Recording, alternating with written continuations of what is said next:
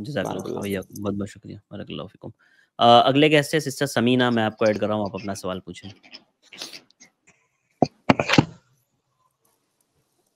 जी sister Samina आप mute है? अस्सलाम वालेकुम। वालेकुम अस्सलाम। अस्सलाम वालेकुम। हाँ भाई मुझे ये पूछना था जी जी मुझे ये पूछना था कि औरतें जनाजे की नमाज़ पढ़ सकती हैं? जी बहन का सवाल यह है कि क्या औरतें जनाजे की नमाज़ पढ़ सकती हैं या नहीं? आ, इसकी इस सवाल में आ, दो शक्ल बन सकती है जनाजे की नमाज़ पढ़ने की। पहली शक्ल ये है कि मर्द लोग जनाजे की नमाज़ पढ़ रहे हैं कोई मर्द इमामत करा रहा है पीछे दूसरे मर्द हजरात जनाजे की नमाज़ पढ़ रहे हैं और उनके पीछे औरतें जनाजे की नमाज़ पढ़े। पहली शक्ल ये है और ये जायज़ है कोई मर्द जनाजे की नमाज़ पढ़ रहा है, पढ़ा रहा है, उसके पीछे दूसरे मर्द पढ़ रहे हैं, उनके पीछे औरतें हैं। औरतें उनके पीछे जनाजे की नमाज़ पढ़ सकती हैं, बस इस बात का ध्यान रहे कि जिस तरह से फ़र्ज़ नमाजों में जब जमात से औरतें नमाज़ पढ़ती हैं तो पर्दे वगैरह का एहतमाम होता है, उसी तरह से यहाँ पर भी एहतमाम होना चाहिए। मैं ये बात इसलिए कह रहा हूँ ताकीद के साथ, क्योंकि जनाजे की नमाज़ आमतौर से गाँव से घर से बाहर ले जाकर के कब्रस्तान के करीब किसी जगह में पढ़ी जाती है। अगर ये सूरत हाल है तो वहाँ पर औरतें ना जाएँ, क्योंकि इसमें बेपर्दगी वगैरह का बहुत ज़्यादा खतरा है। अगर किसी ऐसी जगह पर जनाजे की नमाज़ पढ़ी जा रही है जहाँ पे पर्दे का इंतज़ाम है तो पीछे औरतें जनाजे की नमाज़ पढ़ सकती हैं। ये पहली शक्ल हुई।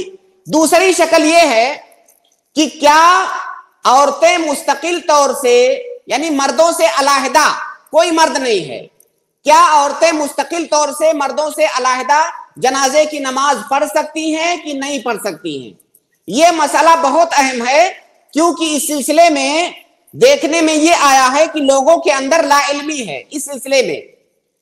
आ, इसमें सही बात यह है कि औरतें अलाहिदा मुस्तकिल तौर से भी जनाजे की नमाज़ पढ़ सकती हैं जमात के साथ भी पढ़ सकती हैं और तनहा तनहा भी पढ़ सकती हैं।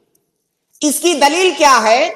सही मुस्लिम की रिवायत है कि जब साद इब्ने अबी वक्कास रज़ी अल्लाह तु की वफात हुई तो उम्महातुल मोमिनीन रज़ी अल्लाह तन्ना ने कहा कि उनके जनाजे को मस्जिद में लाया जाए। उनके जनाजे को मस्जिद में लाया जाए ताकि हम जनाजे की नमाज़ पढ़ लें। उनके जनाजे को लाया गया और अजवाज मुतहरात ने उनकी जनाजे की नमाज़ पढ़ी। सहाबे कराम जो वहाँ मौजूद थे, उन्होंने इस बात पे एतराज़ किया कि जनाजे को मस्जिद में कैसे लाया गया? आप देखिए, यहाँ पे गौर कीजिए, उनका एतराज़ इस बात पे नहीं था कि औरतों ने जनाजे की नमाज़ क्यों पढ़ी। उनका एतराज़ इस बात पर था कि जनाजे को मस्जिद में क्यों लाया गया? इससे साफ़ पता चलता है कि उनके दरमियान ये बात मालूम थी और मारूफ थी कि औरतें जनाजे की नमाज़ पढ़ सकती हैं। तनहा। तो जब उन्होंने एतराज़ किया कि जनाजे को मस्जिद में क्यों लाया गया तो आयशा रज़ी अल्लाह तहा ने कहा कि आप लोग कितनी जल्दी भूल गए। क्या आपको नहीं मालूम है कि अल्लाह के नबी सल्लल्लाहु अलैहि वसल्लम ने सुहेल बिन बैदा की जनाजे की नमाज़ मस्जिद के अंदर फ़ी जौफिल मस्जिद ये अल्फाज हैं। ठीक मस्जिद के अंदर उनकी जनाजे की नमाज़ अल्लाह के नबी वसल्लम ने पढ़ी थी। तो बहरहाल सहाबे कराम के दरमियान ये बात मारूफ थी कि औरतें जनाजे पर मुस्तकिल तौर से अलाहदा नमाज़ जनाजा पढ़ सकती हैं। ये इसकी बहुत वाज दलील हुई। दूसरी इसकी दलील अल्लाह के नबी वसल्लम की हदीस है कि अन्नसा इस हदीस का माना यह है कि तमाम अहकाम में औरतें मर्दों की तरह ही हैं, सिवाय उन अहकाम के जिनमें औरतों के लिए खसूसियत आ गई है। या मर्दों के लिए खसूसियत आ गई है। बाकी तमाम अहकाम जैसे मर्दों के लिए साबित हैं, वैसे औरतों के लिए भी साबित हैं। लिहाजा इस कायदे की बुनियाद पर भी औरतें मर्दों पर, औरतें जनाजे की नमाज़ मुस्तकिल तौर से पढ़ सकती हैं। अब यहाँ पर एक मसला है कि जब औरतें अलाहदा जनाजे की नमाज़ पढ़ेंगी तो क्या वो जमात से पढ़ेंगी या वो तनहा पढ़ेंगी? सही बात यह है कि वो तनहा तनहा भी पढ़ सकती हैं और जमात के साथ भी पढ़ सकती हैं। जमात के साथ पढ़ने की क्या दलील है? जमात के साथ पढ़ने की दलील ये है कि एक कायदा है कि मन सहत सलात हूँ सहत इमामत हूँ जिस आदमी की अपनी नमाज़ सही है, उसकी इमामत भी सही है। तो जब औरत जनाजे की नमाज़ पढ़ सकती है तो वो उसकी इमामत भी करवा सकती है।